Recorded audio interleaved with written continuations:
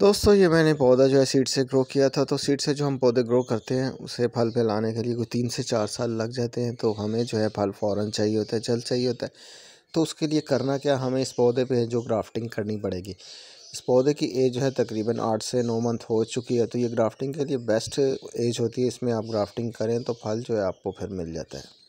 تو دوستو گرافٹنگ کرنے کے لیے جو بیسٹ ٹائم ہوتا ہے دسمبر ہوتا ہے جنوری ہوتا ہے فروری میں بھی کر سکتے ہیں۔ اگر فروری میں جو آپ سمجھ لیں کہ دھوپ تیز ہو چکی ہے، گرمی آ چکی ہے، تو پھر گرافٹنگ کرنے کا کوئی فائدہ نہیں ہے۔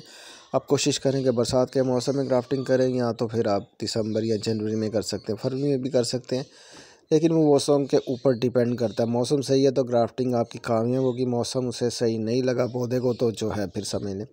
گرافٹنگ کامیاب نہیں ہوتی۔ ہر جیسے کہ ہر سال میں آپ کسی بھی ٹائم نہیں کر سکتے، اس کے لیے خاص موسم ہوتا ہے۔ ایک تو برسات کا موسم ہوتا ہے اور دوسرا جو میں نے آپ کو بتایا، اس موسم میں گرافٹنگ کرنی ہے اس کے علاوہ آپ نے گرافٹنگ نہیں کرنی۔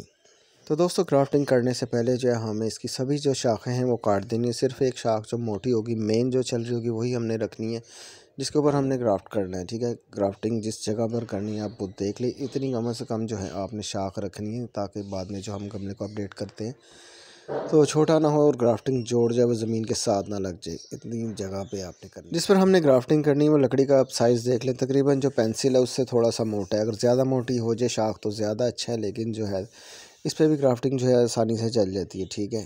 یہ آپ دیکھ لیں کہ شاخ جو ہے، کم از کم اتنی موٹی ہونی چاہیے۔ اب جو میں گرافٹنگ کر رہا ہوں، تقریباً جو سمجھ لگے ایل شیف کی ہے، تھوڑا سا ہم نے نیچے کٹ لگانا اور اوپر اس کو لے جانا ہے۔ اس کی جو فٹنگ ہے گرافٹنگ وہ بڑی زبردست ہو جاتی ہے اور جو جلد گرافٹ بھی ہو جاتی ہے اور اس کا جوڑ جو ہے بعد میں ٹوٹتا بھی نہیں ہے۔ تو ہلکا سا جو ہم نے نیچے سے کٹ لگانا اور سیدھا اس کو جو ہے ہم نے اوپر لے جانا ہے۔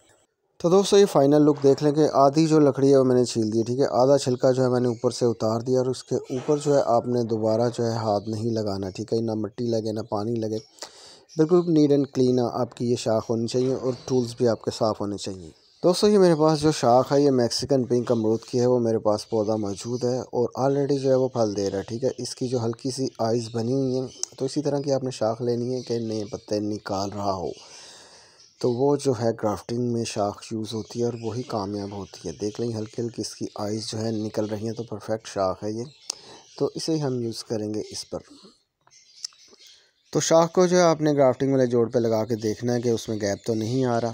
بالکل ساتھ اس کے ملنی چاہیے، آپ اس طرح چیک کر لیں۔ تو اس کے بعد ہم نے کرنا کیا کہ ٹیپ کو جو ہے گرافٹنگ جوڑ کے اوپر اچھی طرح لپیٹ دینا ٹائٹ کر کے تاکہ اس کے اندر ہوا اور پانی نہ آ جائے۔ اگر آپ نے یہ لوز رکھی، پھر بھی جو ہے گرافٹنگ جو ہے وہ کامیاب نہیں ہوگی۔ اس کے بعد چاہے تو آپ پورے پودے پہ جو ہے پولی بیگ چڑھا دیں یا تو جس جگہ ہم نے گرافٹ کیا ہے، اتنی شاخ کو جو ہے ٹیپ کے نیچے نیچے جو ہے ہم نے پولی بیگ کے ذریعے سے بند کر دینا اسے جو ہے میں نے اس طرح پولی بیگ میں بند کر دیا اور پولی بیگ جو آپ کا صحیح ہونا چاہیے، اس کے اندر ہوا اور پانی نہیں جانا چاہیے۔ اکثر ہوتا ہے کہ پولی بیگ کبھی نہ کہیں نہ کہیں سے لیک ہو جاتا ہے۔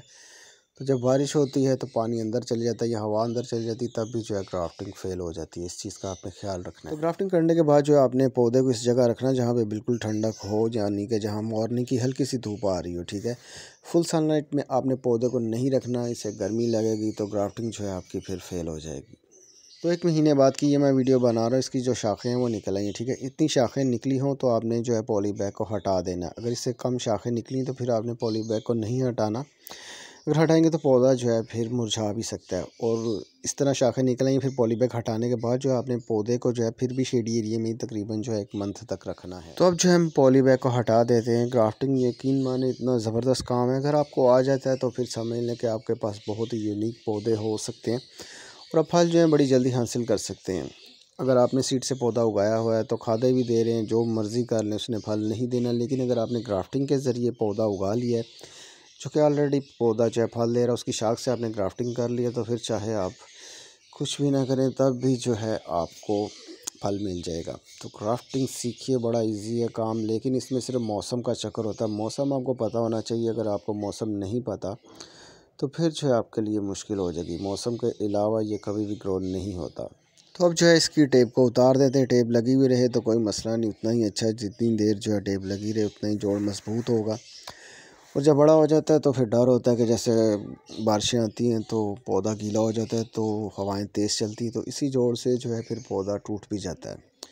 تو آپ لوگوں کو دکھانا بھی ہوتا ہے۔ تو اسی لیے جو ہے میں ٹیپ کو ہٹا رہا ہوں۔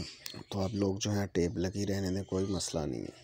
تو دوستو دیکھ لیں گرافٹنگ جو کتنا آسان کام ہے کوئی بھی مشکل پیش نہیں آئی۔ جب میں نے سٹارٹنگ میں جو گرافٹنگ کی ہے تقریباً بارہ، تیرہ، چودہ سال پہلے میں گرافٹنگ کرتا تھا، تو کوئی آئیڈیا ہی نہیں ہوتا تھا کس پہ کیا کرنی، کب کیا کرنی۔ کوئی صحیح گائیڈ تو کر نہیں رہا تھا۔ زیادہ تر گوروں کی ویڈیو ہوتی تھی انگلش سمجھنے میں آ رہی ہوتی تھی۔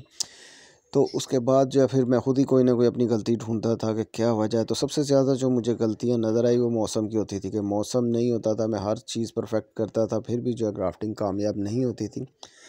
تو اینڈ پہ جا کے جو ہے مجھے موسم کا پتہ صحیح چل چکا ہے تو دیکھ لیں، کبھی بھی ناکام نہیں ہوتی۔